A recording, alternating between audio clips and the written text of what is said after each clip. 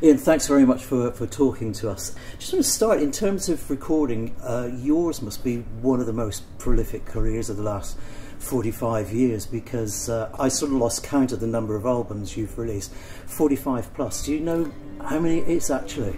I don't know exactly. I've never really stopped to add them all up, and if we're talking about individual studio or live albums that have been released. Yeah then it's probably closer to 50 if we're talking about best ofs and, and small collections. You know, I did my notebook series and I did my Orphans and Outcasts series. Yeah. Uh, so if you're including those two, then we're probably nearer to 60. That's up, yes. Yeah. in terms, because yeah. with such a body of work, I always wonder how artists like yourself then settle on a repertoire when you go out on tour. Yeah, well, I don't.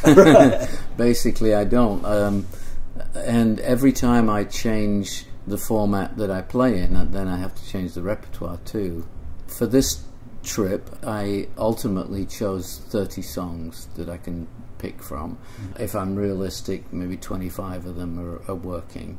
Yeah. Um, when I play in uh, my duo with, uh, I play with a Dutch piano player, Egbert Derix. When I play in the duo, then we dip from an almost completely different repertoire, and we then have about 35 songs we can choose yeah. from. Is yours um, a photographic memory, or do you need no. to go back and I, revisit some songs that might have gone lost yeah. in Mr. Time? I, I, have to, yeah, I have to keep reminding myself all the time. In fact, at this at this moment in time, I have a book on stage with me. It's more like a safety net. I mean, I, I, I know the songs, and I know that I know the songs, but it's a habit that I've that I've gotten into, just uh, putting the book there and turning the pages, and it's uh, yeah. it's a little visual thing too. You always seem to be either recording or tour. Uh, that you're not someone that seems to rest on the laurels. That it's not looking at the past. It's sort of absolutely. The there's, there's, there, there are still so many things that I want to mm. do. After the first Fairport album, I thought, fantastic, I've made an album, I'm a happy man if I never get to make another one, I'm a happy man. And then after five albums, you kind of reflect on that and think, well, it's, it's going quite well. I think uh, yeah. I might get to make a couple more. And at this point in time, I've realized that the only thing that can stop me is me for whatever reason.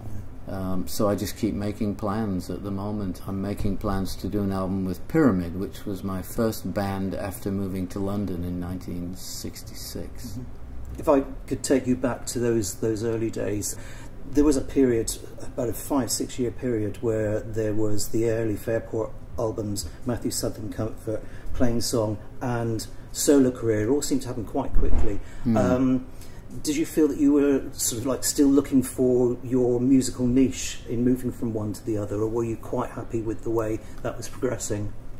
I didn't necessarily feel that I was looking for that. I've always felt that I've been looking for the complete Iain Matthews, mm. the songwriter and the performer, the singer. I've been looking for that entire package to take shape. And my way of trying to find it is to just create as many different genres for myself as I possibly can. One of which was about five, six years ago when uh, you released the Joy Mining album. Yes. Uh, now, for I people that knew you from the early days, that might have come as a bit of a surprise. Yeah, yeah. Where did that sort of like jazz love influence or interest it's, come from? My love of jazz has been there for a long, long, long time, since the mid '60s. I only began to pursue it as a possibility for myself in the early '80s I tried uh, getting together and writing with a jazz piano player, and it didn't really mm-hmm. work out, which to me just said that I wasn't ready for it. Actually, I tried in the 70s, I made an album called Hit and Run that, that had sort of vague jazz leanings to mm. it.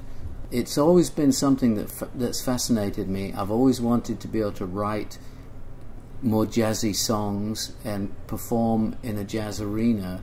And uh, when I moved down to the south of Holland to Horst, where I live, I met this man Egbert Derix, and yeah. he had his own quartet, the Searing Quartet. We hit it off. Uh, we started writing together, and the next logical move was to make an album with the combination of the quartet and myself. Yeah. it was at that point that I realized, and and also because of his encouragement, that I realized that this is something I can do. And was there anything with your collaboration with him that you took away and then fed into your own solo recordings I, and I, writing? I, I, think so. I mean, the only solo recording I've done since working with him is the new one, mm. the one that the Art of Obscurity that's coming out in January. Yeah. Um, but I think if you listen to that, you'll hear two or three things on there that uh, that I wrote all by myself that really echo the work I've been doing with him. So it's it wasn't until I began to write for this album that I realized how much an effect he, he's had on uh, on my thinking, my uh, vision of a song.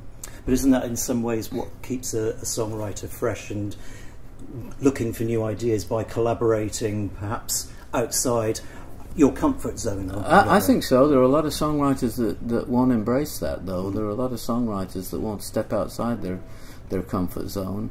Um, but for me, a comfort zone is, is just a barbed wire fence, and I like to try and climb over it and see what's uh, what's available on the other side. And this was happening around about the same time that you were recording and touring again as Plainsong, mm-hmm. and then mm-hmm. you ended the decade with a new Matthews Southern Comfort yeah, album. Yeah. Was that sort of unfinished business?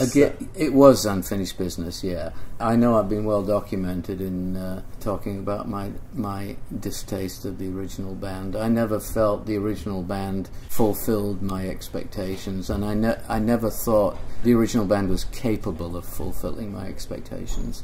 Um, the way I dealt with it was mm, youthful, uh, immature, um, but it was what it was.